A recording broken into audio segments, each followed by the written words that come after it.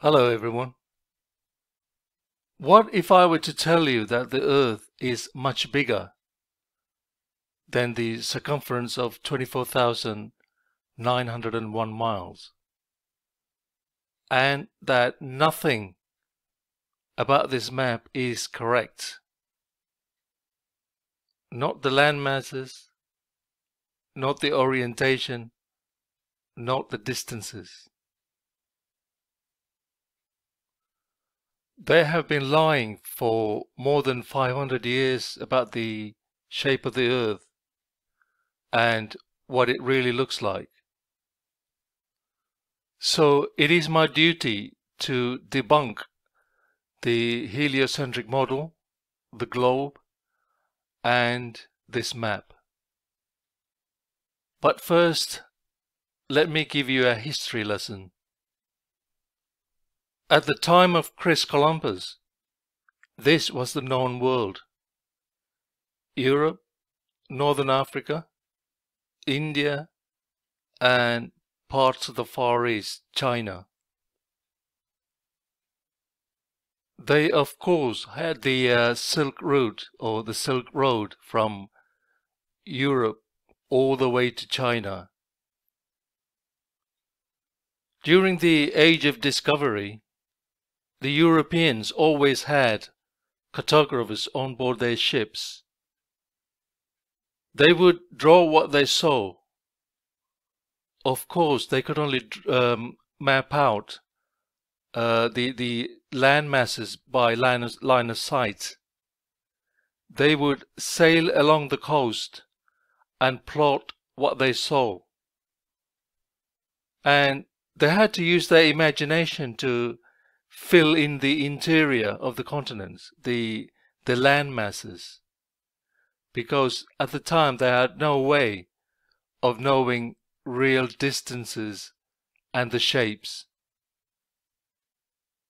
Then in 1569, Gerardus Mercator produced the map of the world, which became very popular in Europe. And a few years later, this, this map became the standard.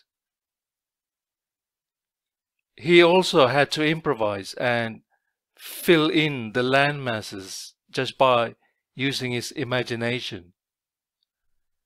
Because in 1569, they had no way of knowing the interior of the American continent or even Asia. And funnily enough, Time and Date.com used the Mercator map on their website today. Time and Date.com are the gatekeepers of the heliocentric model. They use it as their time zone map. And there is so much wrong with this map, which I will explain a bit later. They are also hiding huge amounts of land, especially the north and south from 60 degrees to 90 degrees, north and south. Thousands of miles of ice and land are being hidden. Similarly, they do not show the land to sea ratio. They tell us that the oceans cover 70% of the earth and land 30%. So what they have done is when they produce maps, they simply flip it around by showing us 70% land and 30% ocean.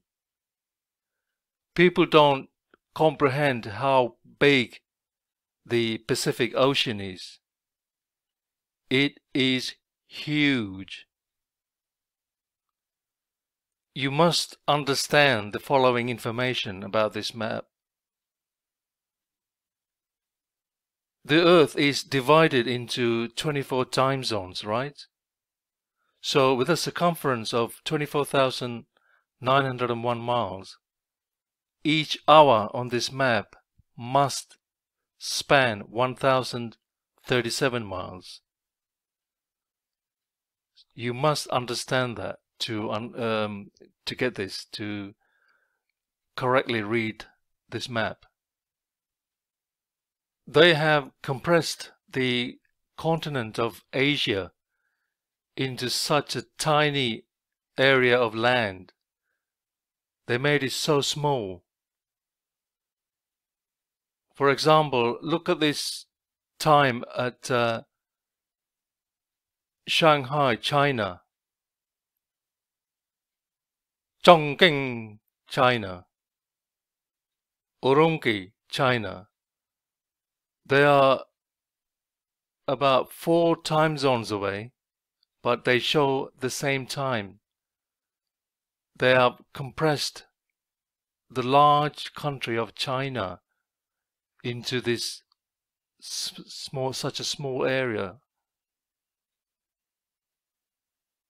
Another anomaly is uh, here, Urumqi and Hovid, Mongolia.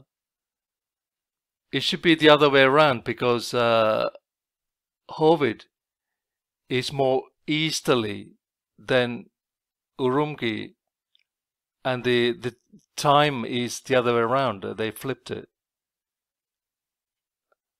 And another example, Moscow in Russia and Anadyr, Russia, and on the far eastern coast. They tell us the distance is 3,848 miles with a flight time of uh, seven and a half to eight hours. But the problem is that they're 10 time zones away, 10 hours difference. So they should be at least at least 9,000 miles apart, not 3,848 as given. What they're also doing is fucking with the uh, with the distance and the flight times. If you've ever flown on an air aircraft, on a modern aircraft, then you will see a display in front of you where you can watch movies and stuff and that display also gives you information about the aircraft, the outside temperature, the airspeed and the ground speed.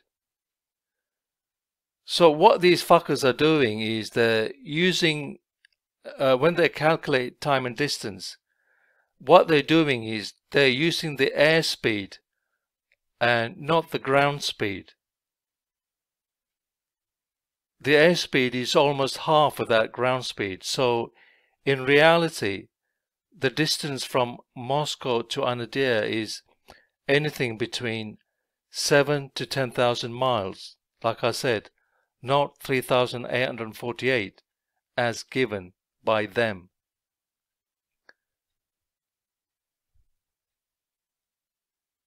There are governmental and semi-governmental organizations that uh, oversee air travel.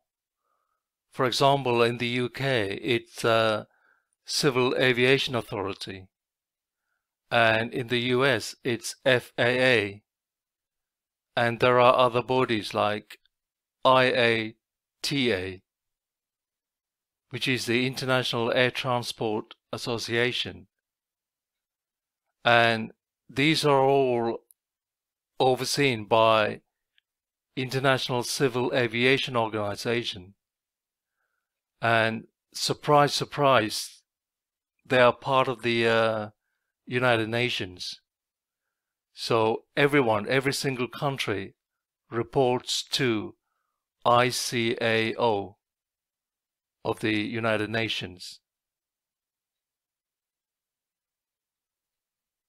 So, in conclusion, a far, a far larger Earth debunks the globe, debunks the heliocentric model, debunks the circumference of the Earth, therefore the radius. Nothing about the globe works. The heliocentric model had its run for just over 500 years. And it's time for it to stop. It's time for the authorities and all the educational establishments everywhere, all over the globe, pardon the pun, to teach the truth from now on. And that is the earth is flat and stationary.